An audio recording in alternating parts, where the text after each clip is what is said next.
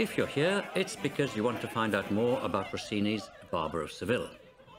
If you've looked at my short video, the link is below, you already know the outline of the plot and you know that it's an amusing, light-hearted opera full of humour.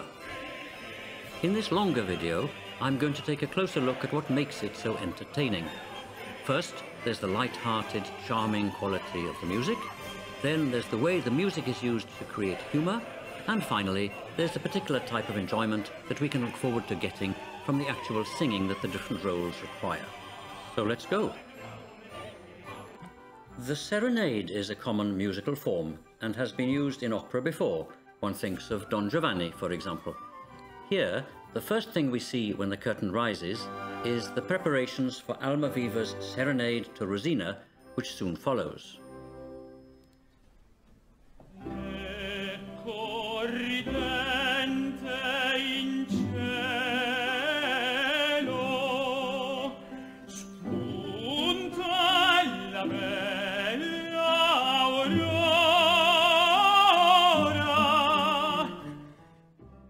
Here, Rossini gives us not one but two serenades, since Almaviva is soon encouraged by Figaro to sing another one.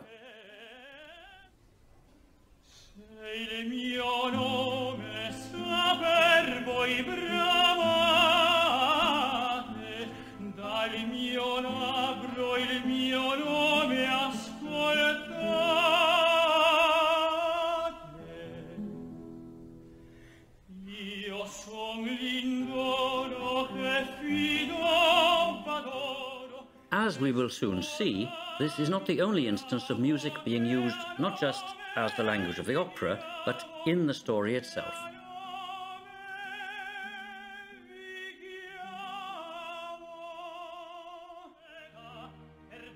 Rossini rounds off the long scene involving Almaviva and Figaro with a charming duet. The starting point is that Figaro needs to give Almaviva instructions on how to find his shop if he needs to reach him. Numero 15, a mano manca, quattro gradini, facciata bianca, cinque parrucche e la vetrina, sopra un cappello, come tappina, mostra in azzurro, alla moderna, e per insegna una lanterna, la senza fallo mi troverà, but it develops into parallel expressions of enthusiastic anticipation on Almaviva's part of his love for Rosina and on Figaro's of the money that Almaviva will give him as a reward. The music seems to flow effortlessly from Rossini's pen in an example of what Verdi admiringly called a profusion of musical ideas in this opera.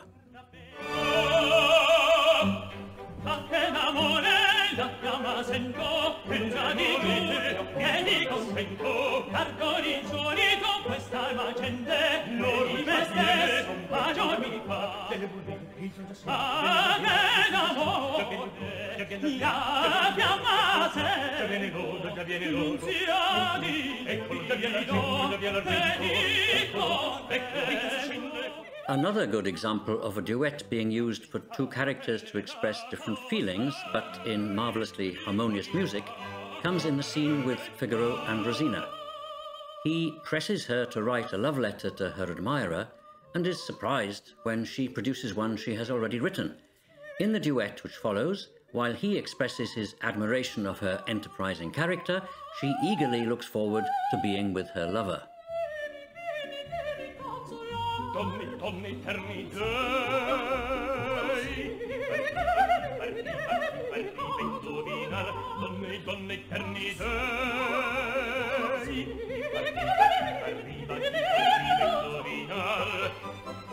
Though the music is generally lively and humorous, there are moments when Rossini uses transitions which are so different in character that they offer a huge contrast.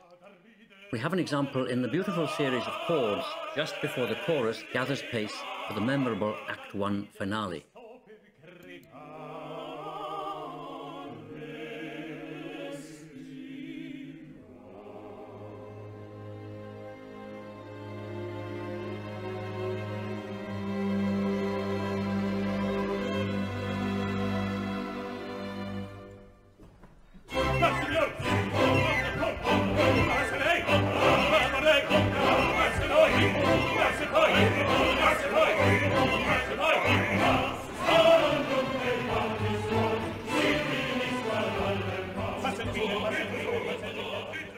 So now let's look at some of the ways that Rossini uses music to create humour in this opera.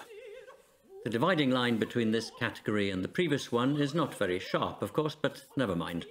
And naturally, whatever Rossini wrote, other things like the conducting, the stage direction, and the singer's vocal and acting abilities are also crucial. There are many moments when the style of the music contributes to the comedy of the situation being shown.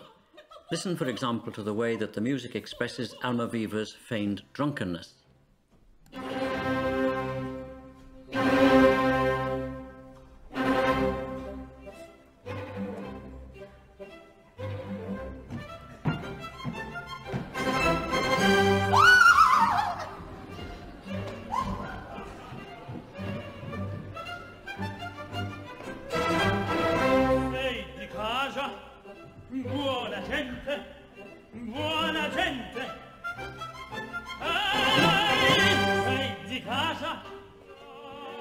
And then there's the comedy of the scene where Don Basilio, the real music teacher, arrives and has to be persuaded that he is so ill that he has to go home to bed.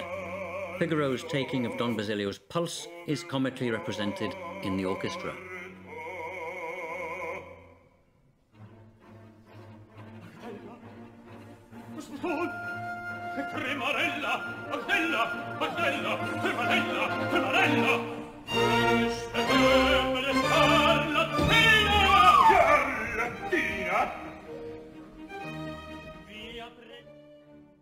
As I said before, in-story music is also used to create comic effect, particularly in Rosina's sham singing lesson. First, she has to sing an aria from a contemporary opera, the theme of which, based on a love intrigue, corresponds to the real situation in which she finds herself.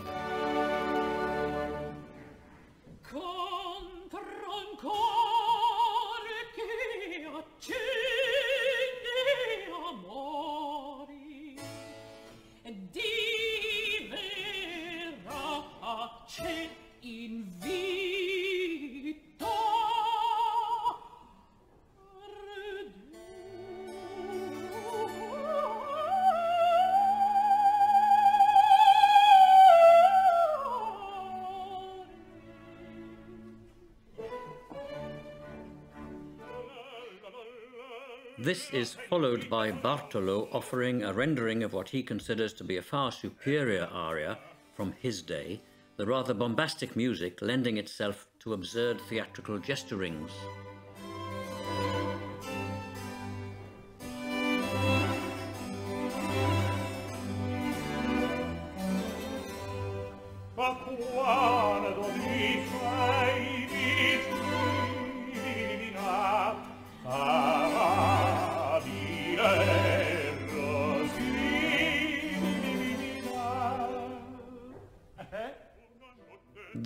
Conventions of opera are even used to create humour.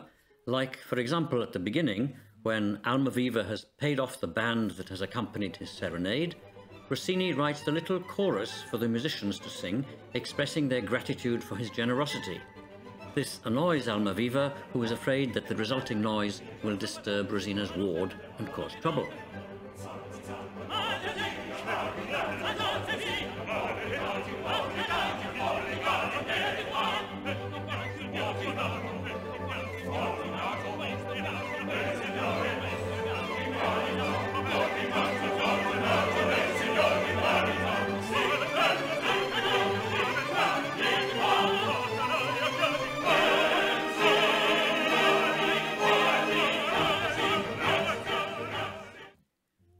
Is another example of this towards the end when the couple of lovers need to make a quick escape with Figaro, but the operatic convention of the love duet means that they delay in order to sing about their happiness, interrupted by Figaro mocking them and urging haste.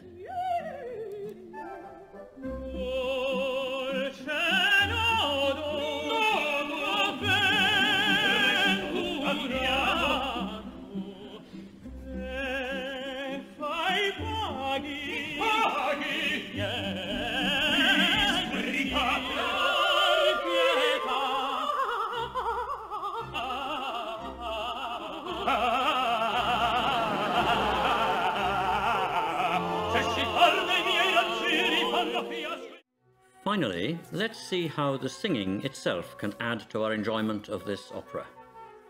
All the roles in this opera demand very agile voices, usually referred to as coloratura, though this term is particularly used for sopranos and mezzos.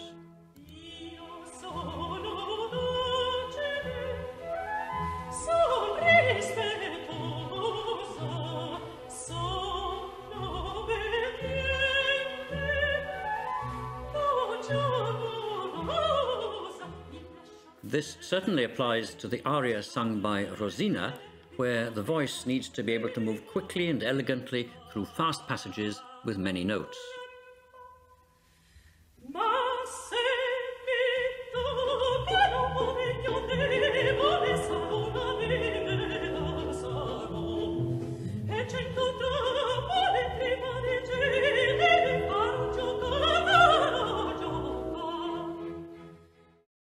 The role of Dr. Bartolo, Rosina's ward, needs a singer with good comic skills, but also an agile voice. This type of singer is sometimes called a buffo bass and can be heard at work in Bartolo's Act 1 aria, which contains some passages where the words have to be pronounced very quickly, known as patter.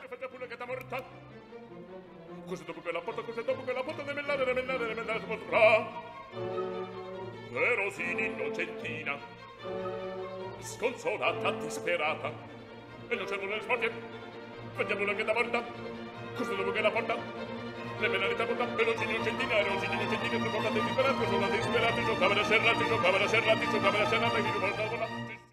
The other bass role is that of Don Basilio, the music teacher. He has less to do than the other main parts, but he has the famous slander aria, La Calunnia, to sing. This requires a comic touch and good use of the text, but also a more singing type of voice, including a solid top range in order to make an impact.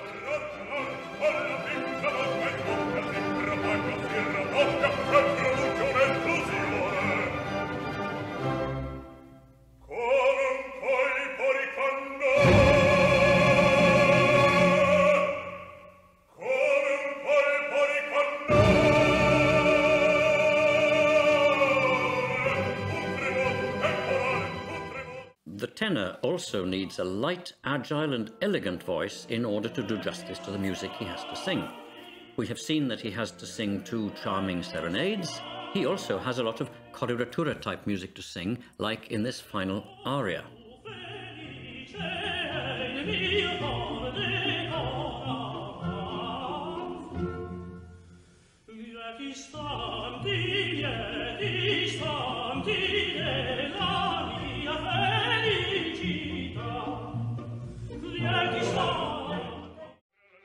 Which brings us to the barber of the title. He is affable and likable, though rather self-satisfied and interested in money. The baritone needs to sing elegantly and agilely too, with a smile in his voice. The aria in which he presents himself without any false modesty has become the most well-known bit of the opera.